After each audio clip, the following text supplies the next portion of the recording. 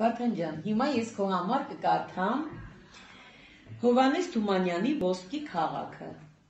Կարդամ Ժուկով ժամանակով Հնդկաստանի Բեներես քաղաքում տիրելիս է լինում Ուքաննա թագավորը։ Օրերից մի օր մեռնում է նրա սիրելի կինը։ Դժբախտ թագավորը չի կարողանում մխիթարվի ոչ մի բանով իրեն որսորդության է տալիս։ Մի անգամին, երբ որսի է դուրս գալիս, անտառում մի գեղեցիկ փոքրիկ աղջիկ է գտնում։ Ուրախանում, աշխարհքորմին է լինում, առնում տուն է բերում, որթեգրում, անունը դնում քանակարա։ Մեծանում է քանակարան, դառնում տխուր թագավորի միակ մխիթարանքը։ Երբ հասնում է ամուսնության ժամանակը, թագավորը հրավիրում է հավաքում իր երկրի երիտասարդ արքայազներին ու իշխաններին որ նրանց միջից ընտրություն անի քանակարան, բայց աղջիկը դուրս չի գալիս իր սենյակից։ Հայրիկ ասում է.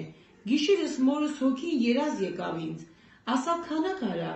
շատ շատերը կխնդրեն քո ձեռքը, չխաբվես ոչ գեղեցկությանը, ոչ քաջության, ոչ հարստության, որովհետև անբախտ կլինես, որին էլ ընտրես քեզ ամուսին, ընտրի միայն նրան, ով իր կյանքում գոնե մեկ անգամ եղած կլինի ոսկի քաղաքում։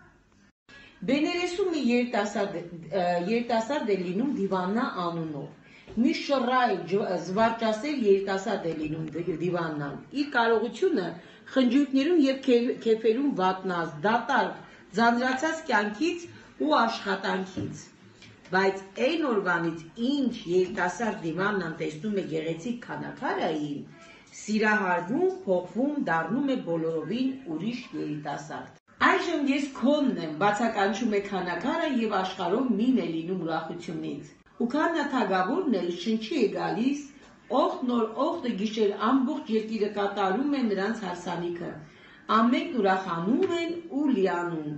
Այս ուրախությունը տեսնելուց հետո ծեր թագավորն էլ կյանքն ու արևը բաշխում է ապրողներին ու մեռնում։ Նրա տեղը թագավոր է նստում դիվաննան, ու սկսում է երկիրը կառավարել այն կարգով, ինչ տեսել էր ոսկի քաղաքում։ Ոսկի չկար նրա